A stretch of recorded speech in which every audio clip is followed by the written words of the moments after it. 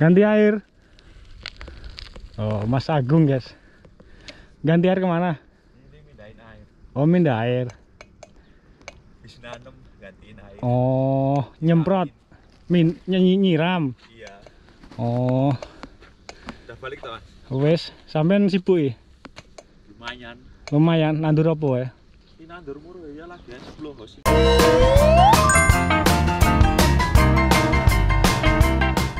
Assalamualaikum warahmatullahi wabarakatuh. Terima kasih buat teman-temanku yang udah klik videoku ini. Semoga videoku ini bisa bermanfaat buat kalian Tentang keseharianku di Jepang. Dan kali ini mau ngapain?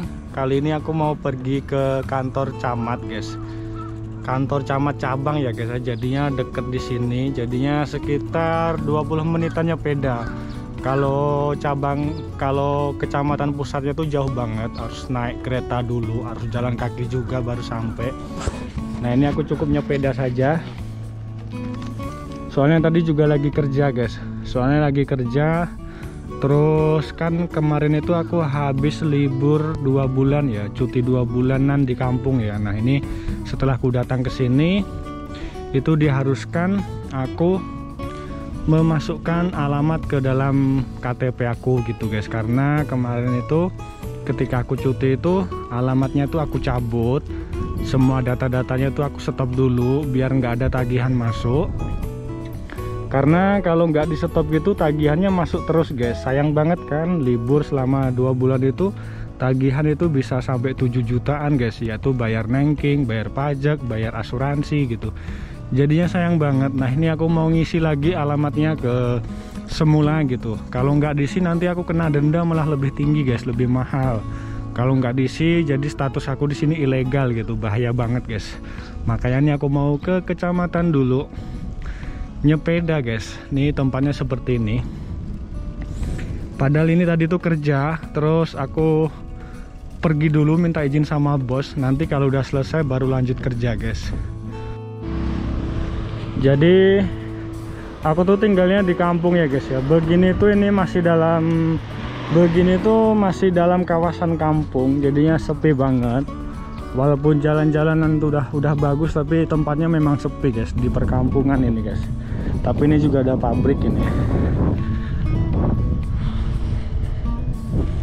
Di sini ke mana-mana kalau nggak punya SIM itu nggak berani ya guys ya. Yang namanya naik mobil naik motor itu bener-bener nggak berani. Sedangkan bikin SIM itu mahal gitu. Kalau SIM mobil itu ya sekitar 25 jutaan lah. Kalau SIM motor itu ya mungkin sekitar nggak sampai 5 juta sih kalau SIM motor guys. Tapi ya nerimo dulu lah. Nyepeda juga nggak apa-apa guys. Nggak ada gengsi-gengsi yang di sini mah.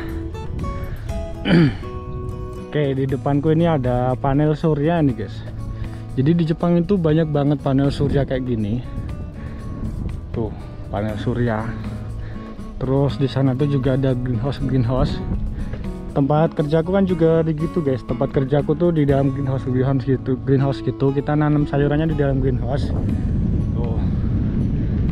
Nah kebetulan greenhouse itu juga apa kulinya juga orang Indonesia guys. Teman-temanku juga. Nah ini nih koperasi nih koperasi JA Japan Agrikultur nih gede banget guys kayak stadion. Jadi hasil panen kita itu kita ngirimnya ke sini semua guys. Ke sini semua tapi karena ini hari ini tanggal merah atau apa ya kok libur itu ya?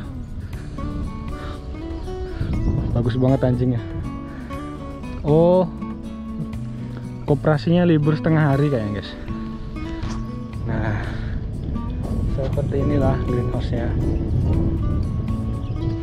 itu ada orang Indonesia guys. Itu ada orang Indonesia guys. Kita samperin guys. Wah udah nggak ada dia. Nah ini kulinya orang Indonesia juga.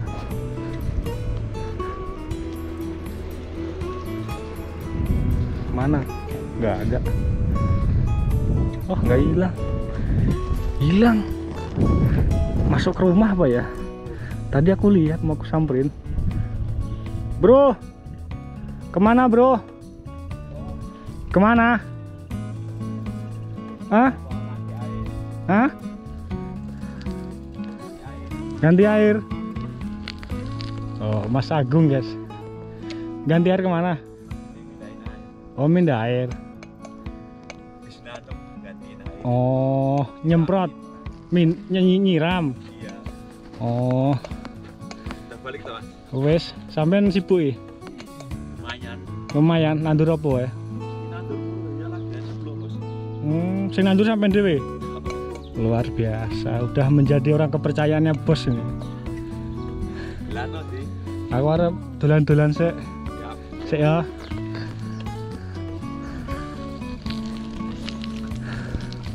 Nah itu tadi orang Indonesia, orang Klaten. Sama di sini jobnya pertanian guys. Tuh dia udah nanam apa-apa sendiri tuh guys. Sudah tinggal dikasih tugas saja sama bosnya. Tapi karena dia lagi kerja, jadinya kita nggak berani ngobrol lama-lama. Takutnya ketahuan sama bosnya bahaya gitu guys.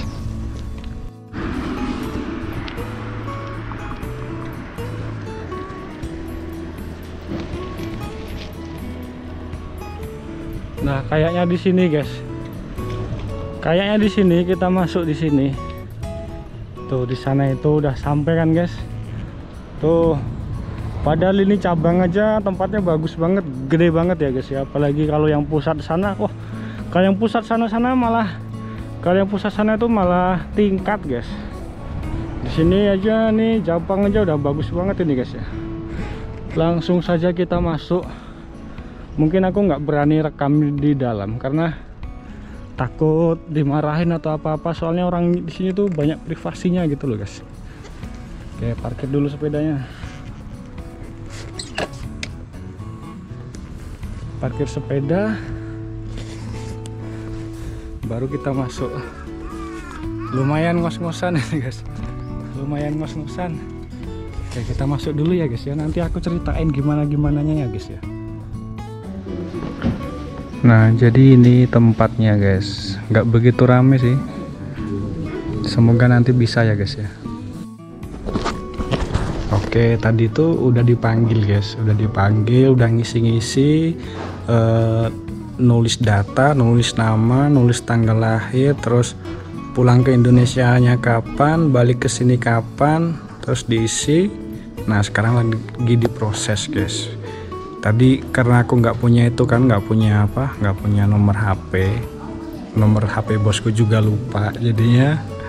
Tadi agak sedikit kendala gitu. Dia memastikan kalau rumahku tuh di mana gitu sampai nyari peta-peta segala gitu. Dan dicari di peta tuh bener-bener ketemu guys. Alamatku tuh ketemu nama rumahnya siapa bosnya siapa tuh ketemu gitu. Alhamdulillah. Jadi mereka percaya gitu. Takutnya orang nggak bener gitu ya guys ya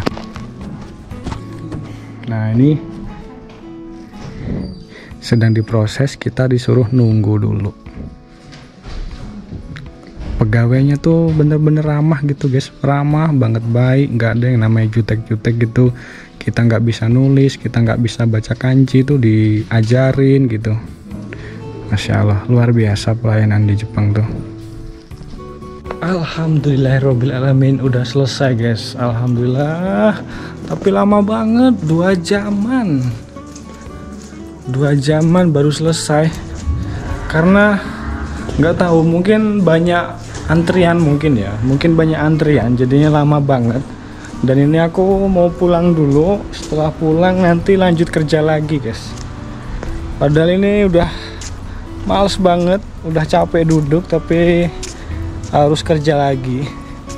Oh ya guys jadinya udah jadi tadi eh, itu alamatnya udah dibalikin lagi udah dimasukin lagi gitu. Nanti padahal bulan ini tuh aku juga mau pindah guys. Palingan ini cuman satu bulan aja alamatnya di sini. Terus nanti satu bulan ke depannya eh bulan depan itu aku mau pindah berarti cabut alamat lagi guys.